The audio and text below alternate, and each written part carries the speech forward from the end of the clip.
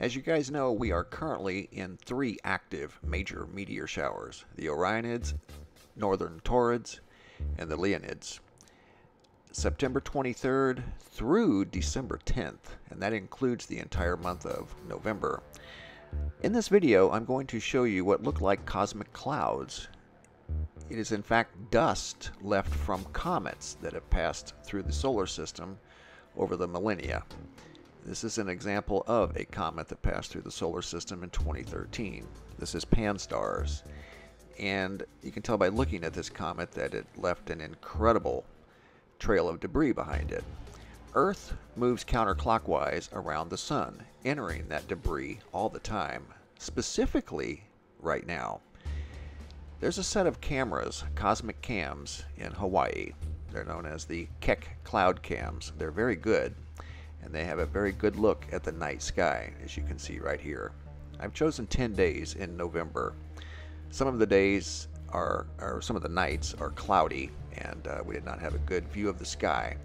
But what you're going to see is cosmic dust at the edge of space picked up by these cameras.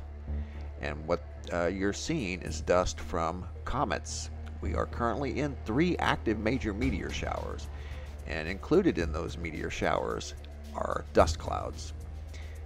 And this is a fine example of those dust clouds you can tell that they're very high in the atmosphere at the edge of space because they don't interfere with the light of the stars.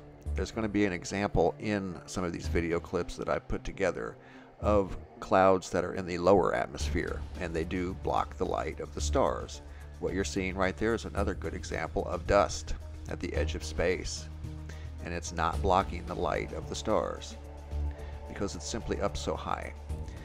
This is November 18th. There's the edge of the Milky Way galaxy. This camera faces west, by the way.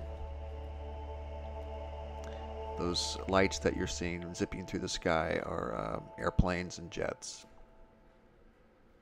And then you'll see as the night progresses and Earth faces directly into the night sky, plowing right through these uh, cosmic clouds, is when you see them the greatest, around 3 a.m. 3 to 4 a.m. And here they come right here. You can see another round of these clouds, dust clouds. And some regular clouds that are blocking the light of the stars. The clouds that are very high up do not. They almost look like uh, nebula. They do not interfere with the light of the stars at all. This is a good example here. And the shapes of these clouds change every day as Earth orbits and moves through space. The clouds are by no means going to stay the same. They're different every night. There's a good example right there. It's a cosmic cloud at the edge of space. See, it's not interfering with the stars. Now you can see some clouds in the lower atmosphere to the left blocking the light of the stars. The ones that you will see here in just a moment do not. It's because they're at the edge of space.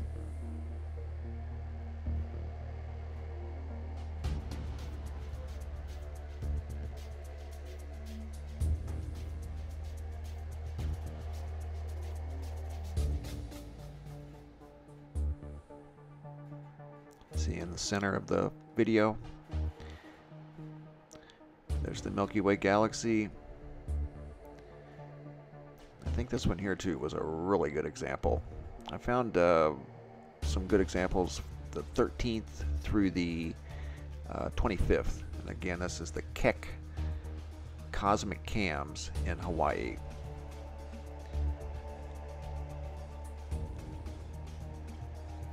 Here it comes from the left. Look at that. Almost looks like a big nebula cloud. And that says Earth is moving right through it. Counterclockwise around the sun.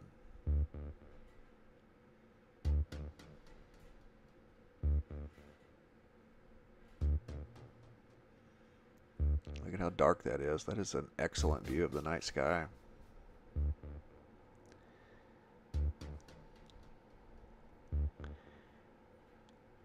Another good example. This one I think almost looks like it has. Uh, you can see the lower clouds, how they're blocking the stars.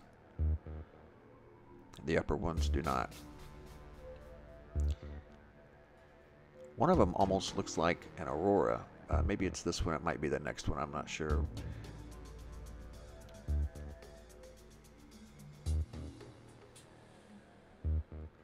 It's kind of neat. I've never seen this on these instruments before.